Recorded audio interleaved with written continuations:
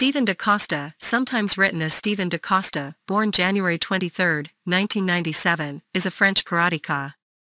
In 2018, he won the gold medal in the men's 67 kg event at the 2018 World Karate Championships held in Madrid, Spain.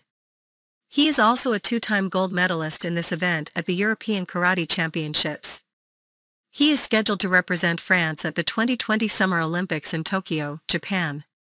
In 2015, at the European Games held in Baku, Azerbaijan, he won the silver medal in the men's Kumite 67 kg event.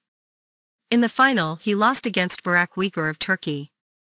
In 2016, he won the gold medal in the men's Kumite 67 kg event at the 2016 European Karate Championships held in Montpellier, France.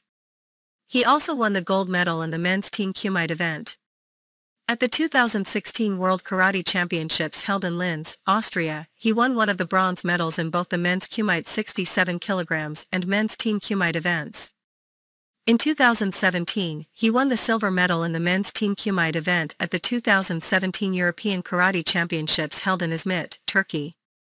In the same year, at the 2017 World Games held in Wrocław, Poland, he won the gold medal in the men's Kumite 67 kg event. In the final, he defeated Jordan Thomas of Great Britain in 9.